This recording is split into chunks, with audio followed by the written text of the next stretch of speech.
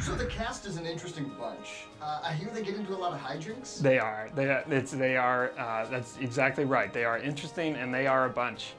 Um, you know, and there, there's tons of hijinks on set, which is just great because you you know any group of people you don't know how you're gonna you know combine uh, chemically. You know, I mean not chemically, but like chemistry. Um, how that's going to combine it, it's just been great. So, you know, we just do tons of things. Um, you know, that people pull pranks. Uh, there was one, one morning when we were, uh, we showed up to set and there was no coffee.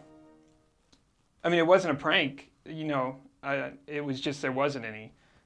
You know, I, I mean, I don't know how they, I don't know the process of how you get coffee on a set, but whatever that process was, it, it totally fell apart because there was no coffee.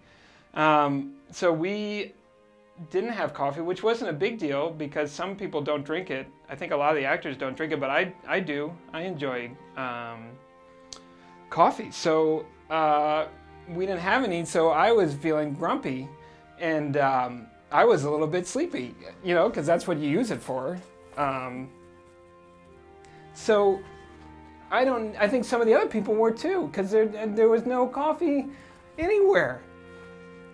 Anyway, then suddenly there was. I, you know, like I guess somebody was like, you know, shoot, and so they went out and got it, and um, then we had it, and so you know we'd made it through. But obviously, like for you know, it must have been 20 minutes. There was no coffee, and so everybody was like, ah. I mean, nobody screamed. Uh, I was screaming in my head if that you know if that doesn't sound weird it probably does.